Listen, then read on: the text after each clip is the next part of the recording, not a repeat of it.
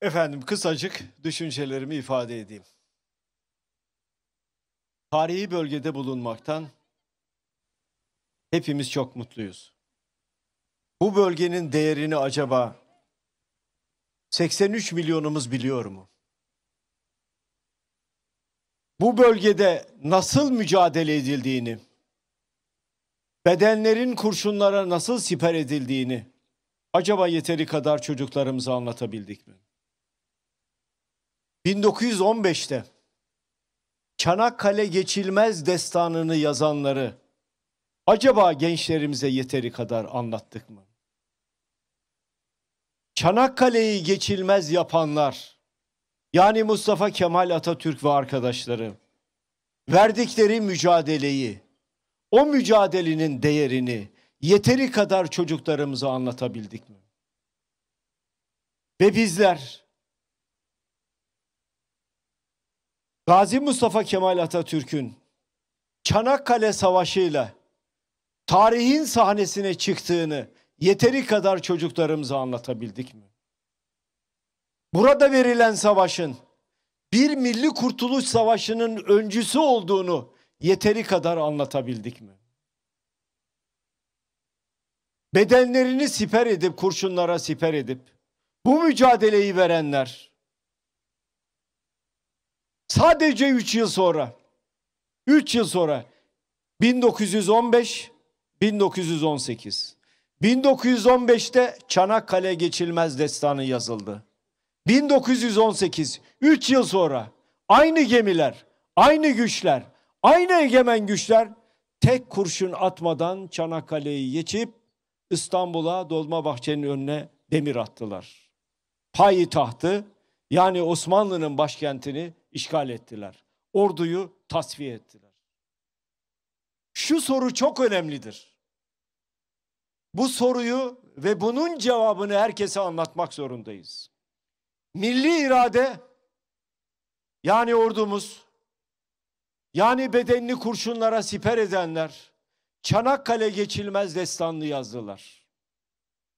Ama bir kişi padişahın bir imzasıyla aynı egemen güçler 3 yıl sonra tek kurşun atmadan bu boğazı geçip İstanbul'a gittiler.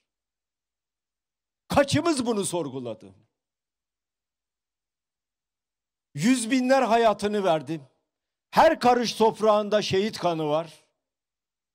Ama üç yıl sonra aynı boğazdan, aynı boğazdan bir mermi atılmadan gidildi ve İstanbul işgal edildi.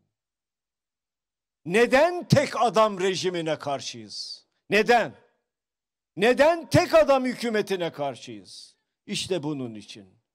Tarihi bilirseniz, tarihte verilen dersleri bilirseniz, tarihin bize verdiği dersleri unutmazsanız o nedenle tek adam rejimleri olmaz diyoruz. Bir kişinin imzasıyla bu Çanakkale geçiliyor arkadaşlar. Bir kişinin imzasıyla. Peki Çanakkale şehitlerim? Peki o şehitlerimiz? Peki bedenlerini kurşunlara hedef olarak koyanlar? Her karışı için kanlarını döken ya şehitlerimiz ne oldu? Ve Mustafa Kemal Atatürk o büyük insan Milli Kurtuluş Savaşı'nı verdikten sonra ne söyledi? Hakimiyet bila kaydı şart milletindir dedi. Egemenlik kayıtsız şartsız milletindir dedi. Neden?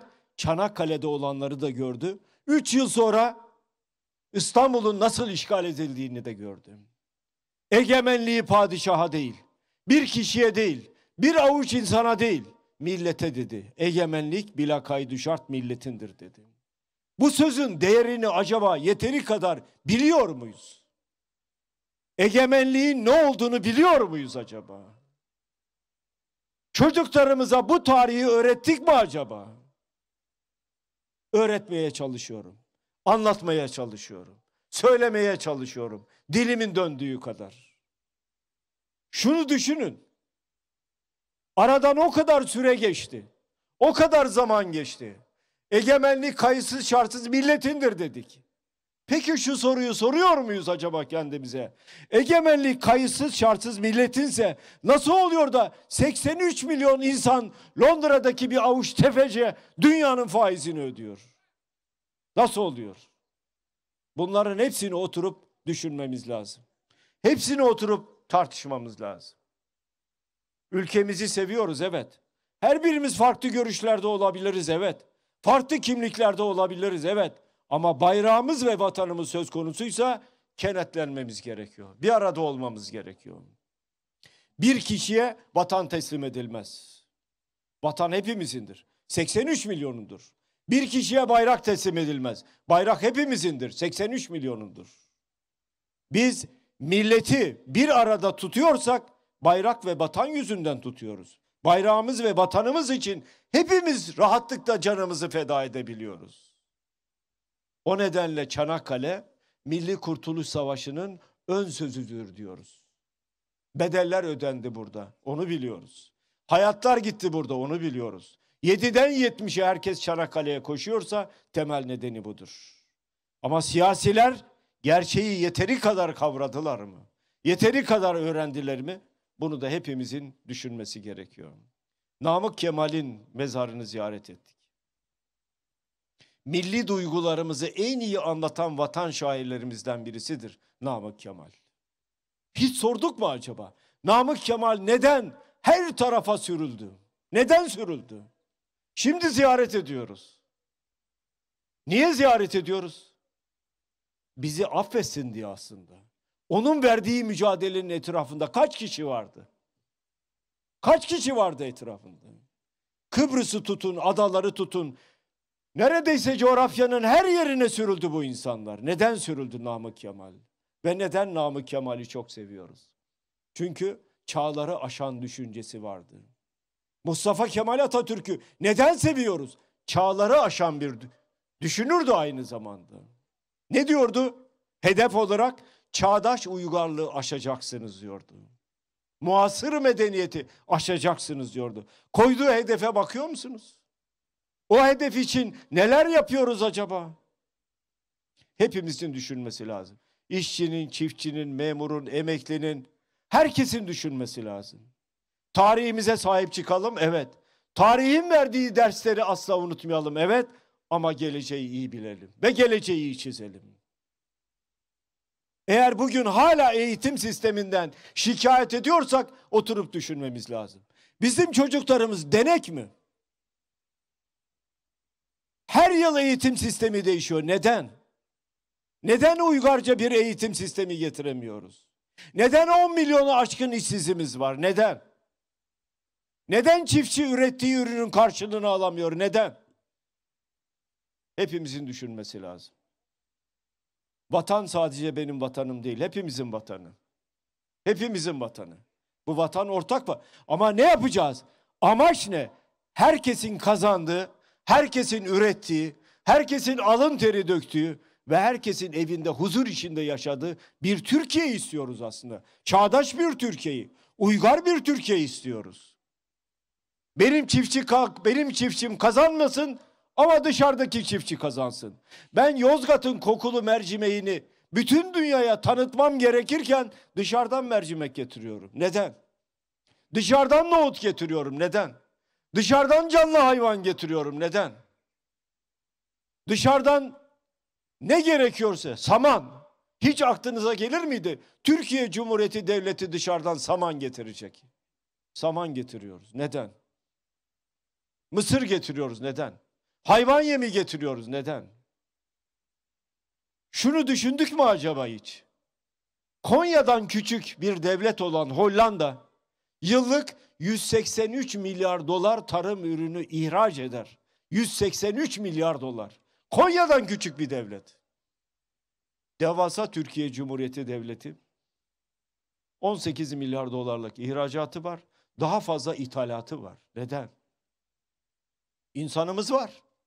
Toprağımız var, güneşimiz var, denizimiz var, göllerimiz var, suyumuz var, bereketli her şey. Gençlerimiz var, taşı sıksa suyunu çıkaracak. Neden bu işsizlik? Neden bu fukaralık? Neden bu tablo? Neden bu karamsarlık? Düşüneceğiz. Ve kararımızı vereceğiz. Demokratik yollarla. Türkiye'yi bu hale düşürenlerden demokratik yollarla gidip sandıkta hesabını sormak zorundayız. Bu bir vatan borcudur aynı zamanda. Siyaset bir kavga alanı değildir. Siyaset bir dövüş alanı değildir. Siyaset siyasetçilerin cebini doldurdukları bir alan da değildir. Siyaset vatandaşa hizmet etme al- alanıdır. Hizmet edeceksiniz. Ama hizmet ederken her kuruşun hesabını vatandaşa vereceksiniz. Vermediğiniz andan itibaren Çanakkale şehitlerinin hakkını ödeyemezsiniz. Onlar kanlarını, canlarını biz huzur içinde yaşayalım diye verdiler. Kısaca söyleyeceklerim bunlar. Hepinize teşekkür ederim. Çanakkale şehitlerine her zaman, her yerde ve diğer şehitlerimize bu vatan için, bizler için, ülkemiz için bayrağını korumak için hayatını feda eden bütün şehitlerimize, gazilerimize, onların ailelerine her zaman şükran borçluyuz. Şükran borçlu, borçlu olmaya da devam edeceğiz. Hepinize yürekten teşekkür ederim değerli arkadaşlarım. Çok teşekkür ediyoruz Sayın Genel Başkanımız Kemal Kılıçdaroğlu'na. Kendilerini uğurluyoruz. Trakya'dan gelerek bizlerle birlikte olan değerli konuklarımızı ve Çanakkale'li hemşehrilerimize bir kez daha çok çok teşekkür ediyoruz. Saygıdeğer misafirlerimiz için Gelibolu Belediye'miz tarafından kumanya hazırlanmıştır. Hemen bu platformun tam karşısında bulunan noktada sosyal mesafe kurallarına uymak üzere kumanyalarınızı alabilirsiniz. Gelibolu Belediye'mize çok çok teşekkür ediyoruz.